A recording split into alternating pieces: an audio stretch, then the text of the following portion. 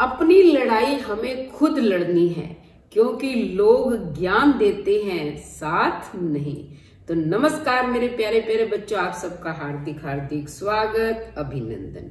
बेटा, आज मैं आपको ये बताना चाहती हूँ कि अगर आप किसी से मित्रता करें तो ईमानदारी से निभाएँ, क्योंकि अगर मित्रता के अंदर एक व्यक्ति किसी कारण से नाराज़ हो जाता है और दूसरा उसे मनाने की कोशिश नहीं करता और वो स्वयं के अहंकार में डूब जाता है तो दोनों का ही विनाश हो जाता है। तो कहानी के माध्यम से सुनिए, एक बार एक जंगल और बाघ में मित्रता हो गई और दोनों ने एक दूसरे को वचन दिया कि हर विपत्ति के समय में वे एक दूसरे का साथ निभाएँगे, सहयोग करेंगे दोनों मिलजुल कर ये उनकी मित्रता बहुत समय तक चलती रही, क्योंकि लोग आते जंगल को काटने के लिए तो बाघ जो है उन्हें डराकर भगा देता था।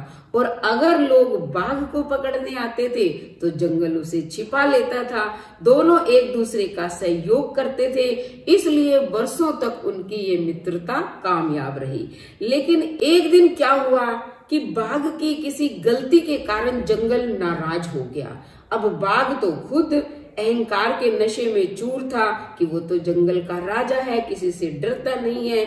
इसलिए उसने जंगल की नाराज़गी को दूर करने की कोशिश नहीं की और वो उस जंगल को छोड़कर चला गया। अब लोग तो आपको पता ही है कि लाभ उठाते हैं। एक दिन क्या हुआ कि खूब लोग आए और उन्होंने देखा कि जंगल असुरक्षित है, इसलिए उन्होंने काटना शुरू कर दिया। धीरे धीरे घना जंगल जो है, वो मैदान बन गया।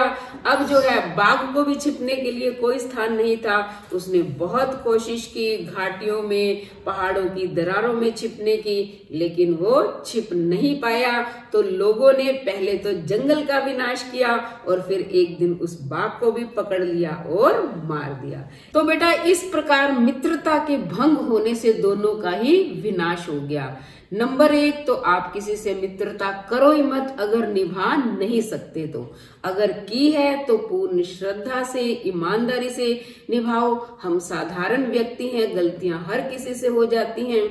तो अगर किसी से गलती हो भी जाए तो उस नाराज़गी को बैठकर दूर कर लेना चाहिए। ज़्यादा लंबे समय तक उसे खींचना नहीं चाहिए, वरना वो विनाश का कारण बनती है। जैसे आपने कहानी में देखा कि किस प्रकार बाघ और जंगल दोनों को अहंकार हुआ जो उनके विनाश का कारण बना। तो अगर कहानी अच्छी लगी तो चैनल को सब्सक्राइब करें, लाइक और शेयर करें, कमेंट करें और बेल आइकन के बटन को दबाएँ ताकि अगली कहानी का नोटिफिकेशन सबसे पहले आपको मिले। धन्यवाद।